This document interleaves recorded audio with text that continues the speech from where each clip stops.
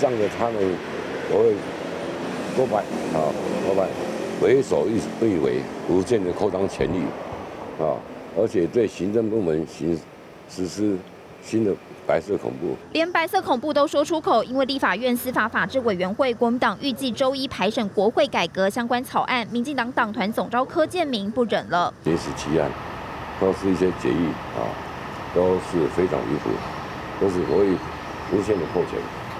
违宪乱政，连蒋介石在世也不敢如此。全部二十案扩权修法，有十七案都有蓝营立委提出，当中涵盖藐视国会罪的犯罪样态及罚还。总统应定期到立院进行国情报告，并采即问即答。国会调查及听证权、人事同意权行使等五大范畴。藐视国会权一定要把给修路。过去我们有看到行政部门带头来跟立委呛虾，所以这样的一个乱象，真的必须在这一次来做一个终结。我们一定是提示线。那现在最大问题是在怎么样？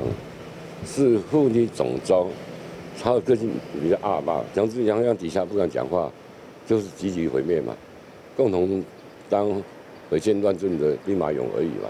朝野战情升温，民进党团也出招修正内规，各委员会每天将发布动员令，不在场就要罚款，直到临时提案处理完毕或党团解除动员令为止。采取的焦土战战略，天天兴起战火，主要的是他不想分享权力。